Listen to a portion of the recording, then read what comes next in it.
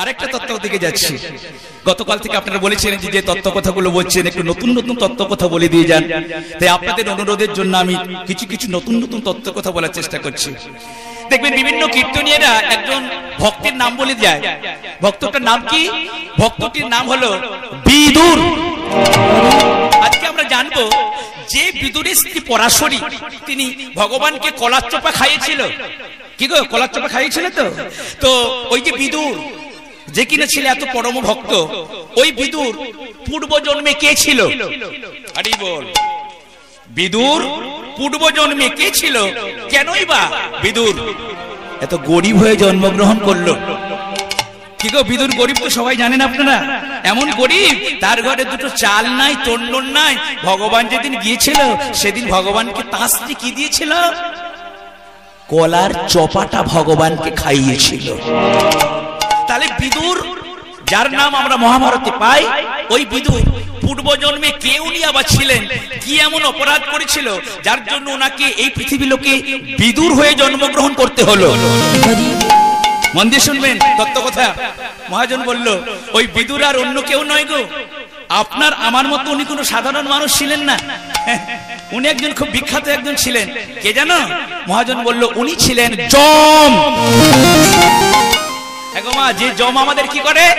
আমরা পাপ করলে, অন্যায় করলে জম আমাদেরকে শাস্তি দেয়। নরকে যে আঠাশ প্রকারের নরক আছে, ওই আঠাশ প্রকারের নরকে কে কোন অপরাধের জন্য কে কোন নরকে থাকবে, এটা কে নির্বাচন করে? চিত্রগুপ্ত খাতায় লিখে আর হিসাবটা করেন কে? আপনার, আমার সকলের, ওই যে জম পাপীদেরকে শাস্তি দেওয়ার জন্য ভগবান উনাকে নিয়োগ করেছেন। হে জম, তুমি যাও, যারা পৃথিবীতে পাপ করবে, যারা পৃথিবীতে অন্যায় করবে, তাদের তুমি কার কি গতি তুমি এটা বিচার করবে? কিন্তু একদিন কি হয়েছিল জানো মা? ওই যে জম, ওই জম একদিন একটা কাজ করতে গিয়ে ভুল কাজ করে ফেলেছিল। আর ওই জম ওই ভুল কাজটা করেছিল বলে জমকে বিদুর হয়ে জন্মগ্রহণ করতে হয়েছিল। দাদা, আরে জম আবার কি ভুল করে? যে জম সকলের বিচার করে, যে জমের নাম চারিদিকে শোনা যায়, সে জম আবার ভুল করেছিল কি? হ্যাঁ সেই জম একটা ভুল কাজ করেছিল। মানুষ আমরাও তো মাঝে মাঝে ভুল করে ফেলি, কিন্তু ওনারাও দেখবেন মাঝে মাঝে ভুল করে ফেলে। আর ভুলের মাসুল, মানুষকেও যেমন ভোগ করতে হয়, ভুলের মাসুল, ওই জমকেও ভোগ করতে হয়েছিল। কিসে ইতিহাসটা? কেন তাকে ভোগ করতে হলো? মহাজন বলল এই জড়জগত মাঝারে একজন ঋষি ছিল। যে ঋষিটার নাম হলো মান্ডব্য ঋষি। আর ওই মান্ডব্য ঋষি আমার ঋষিরা কি করে? ঋষিরা ধ্যান করে, যেখানে বসে থাকে, ঠাকুরের নাম গুণগান করে, জপ করে, তপ করে। তো মান্ডব্য ঋষি নামক একজন ঋষি তিনি এই ধরাধামে কোনো একটা জায়গায় তিনি আশ্রমের মধ্যে ভগবানের নাম গুণগান করছেন, ওম ওম মন্ত্র উচ্চারণ করছেন। এ মতো সময় দুইজন চোর, যারা, তারা রাজবাড়ির ঘরে, জমিদারের ঘরে সোনাদানা চুরি করে তারা আশ্রয় নিতে চেয়েছিল। ওই মান্ডব্য ঋষির আশ্রমের কাছে এসে, ঋষিবর! ও ঋষিবর আমরা ভুল করে অন্যের বাড়ি সোনাদানা চুরি করে ফেলেছি। আমরা ভুল করে অন্যের বাড়ি টাকা পয়সা চুরি করে ফেলেছি। আর আমাদেরকে দেখতে পেয়ে গিয়েছে ওই জমিদার বাবু। আর তার সমস্ত সৈন্যদল আমাদেরকে ধরার জন্য এসছে। হ্যাঁ গো, যদি ধরা পড়ে যায়, তাহলে আমাদেরকে ওই জমিদার শুলে চপিয়ে আমাদেরকে শাস্তি প্রদান করাবে।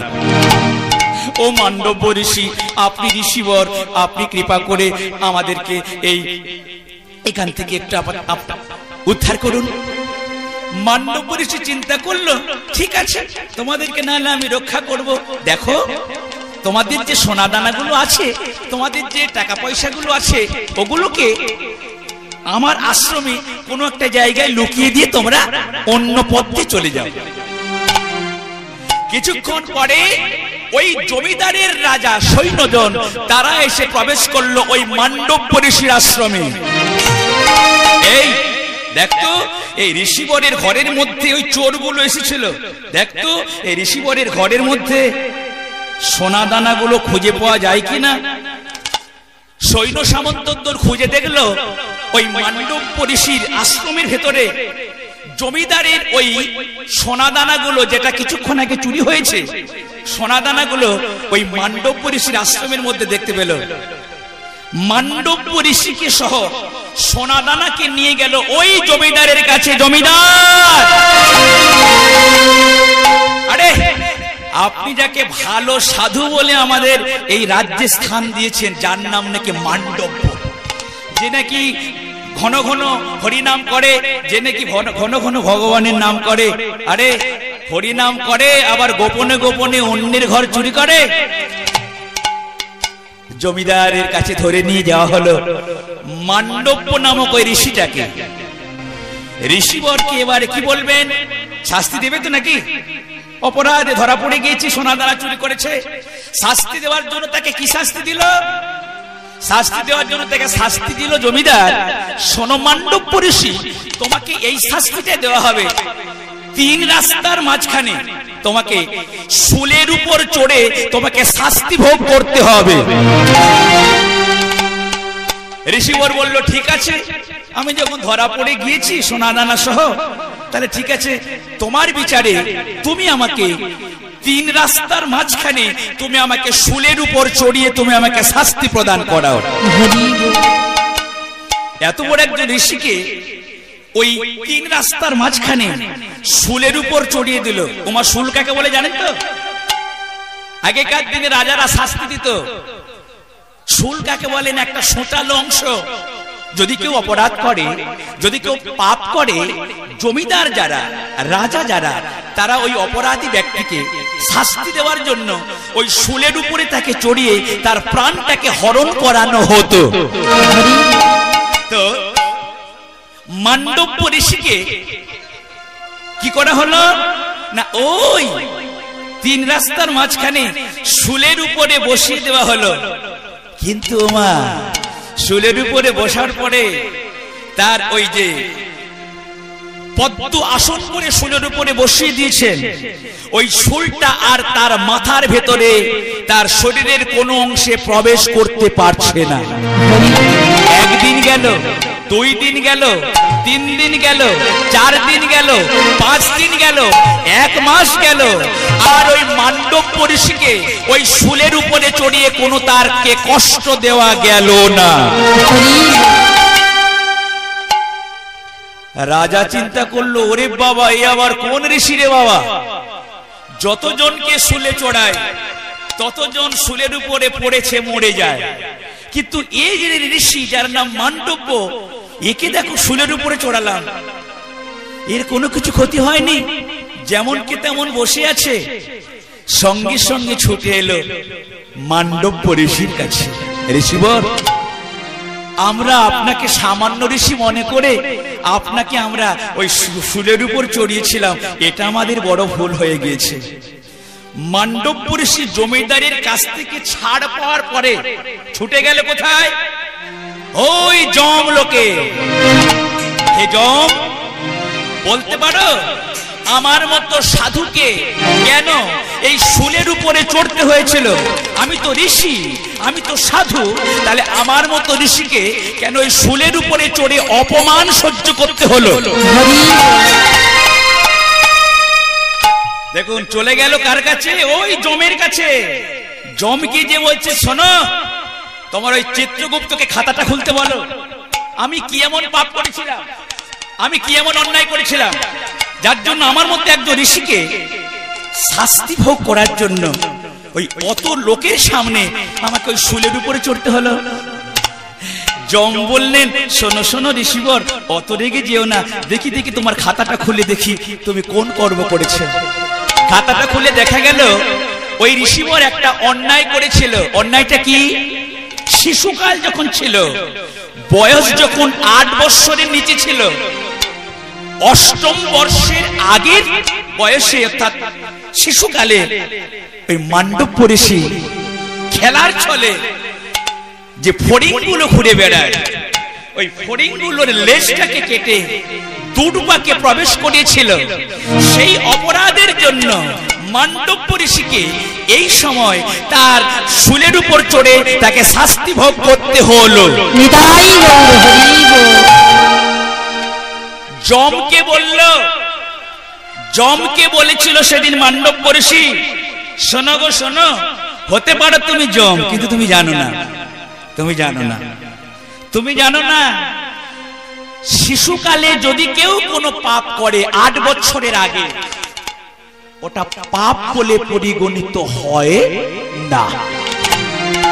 আমি সেই শিশুকালে খেলার ছলে আমি এই কর্মটা করেছিলাম। তার জন্য তুমি আমাকে ওই শুলের উপরে চড়ালে? শোনো, আমি যদি ঋষিবর হই, আমি যদি ঠাকুরের নাম গুণগান করি, আমি যদি একটু হলেও নিয়ম করি এই আমার যজ্ঞ সূত্র ধরে আমি তোমায় অভিশাপ প্রদান করছি। এই কর্মের জন্য তোমাকে পৃথিবীতে জন্মগ্রহণ করতে হবে বিদুর রূপে। জম সেদিন বলেছিল, মান্ডব্য ঋষিকে ঋষিবর, আমার অন্যায় হয়ে গেছে আমি জানতাম না এই নিয়মটা। শিশুকালে যদি কেউ অন্যায় করে ফেলে, সে অন্যায়টাকে অন্যায় বলে ধরা উচিত নয়। তাই আপনার অভিশাপ আমি নিজের মাথায় নিচ্ছি। আমি জম থাকতে থাকতে আমি পৃথিবীতে জন্মগ্রহণ করব। একটা কুড়ে গরিব পরিবারে আমার নাম হবে বিদুর। কিন্তু বিদুর হয়ে জন্মগ্রহণ করলেও যেন আমার মন প্রাণ গোবিন্দ চরণ থেকে চ্যুত যেন না হইয়া যায়। নিতাই গৌর হরি। আমাকে তুমি গরিব করে জন্ম দাও। আমাকে তুমি অতি কষ্টের সহিত জীবন কাটাও। কিন্তু অনাদিরাজ গোবিন্দ ভগবান তার চরণ থেকে আমার এই মনটা যেন অন্য কোনো দিকে না যায়। সেই অভিশাপটাকে আজকে মাথায় নিয়ে পৃথিবীতে জন্মগ্রহণ করেছিল বিদুর আর ওই বিদুরের ঘরে যিনি স্ত্রী হয়েছিল যার নাম পরাশরী যে পরাশরীর হাতে অনাদিরাজ গোবিন্দ ভগবান তিনি কলা না খেয়ে কলার চাপট চপাটা তিনি খাইয়াছিল। রাধেশ্যাম জয়নিতাই গৌর হরি বল। ও মন কান্দয় কারণ জারি তুমি আপনি বলো। সে তো আপনি নয় মনরে।